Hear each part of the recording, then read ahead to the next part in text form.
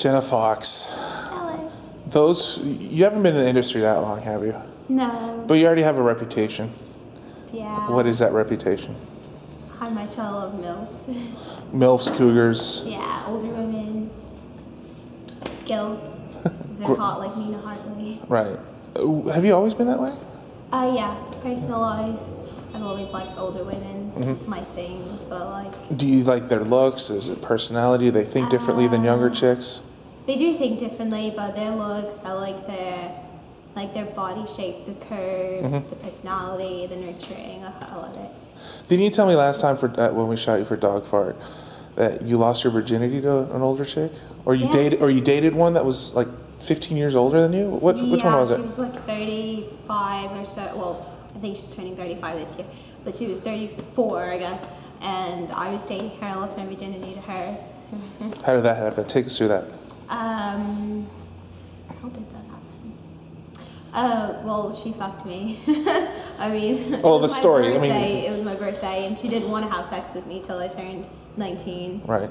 I don't know for what odd reason. 19? Usually it's 18 they wait. No, it was because I was ni- I was turning 19, so Mm-hmm. she just wanted to wait. We waited, and then we had like this romantic thing at her house with like Mm-hmm. wine and like strawberries and like creme brulee and stuff, Mm-hmm. and then we fucked. And you went at it. So the only time you have sex with men is on camera.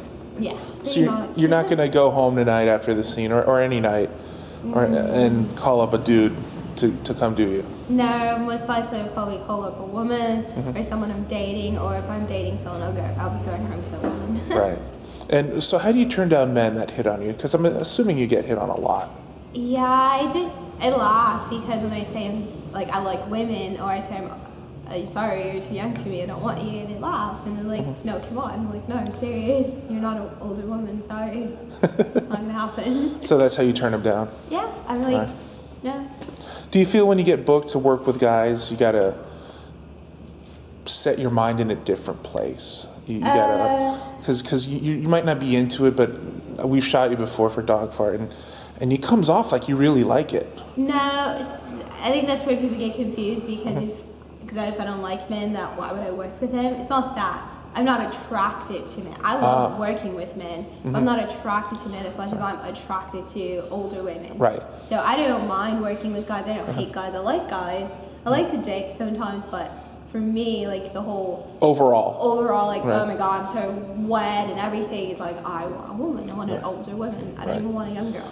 Do they pick older you up or do you pick them up? It goes both ways. Really? Either either way, like if they think that oh she's young, she's maybe not into women, I'm not going to talk to her. So I go over and I'm like, okay, hey. They're like, are you really talking to me? I'm like, yeah.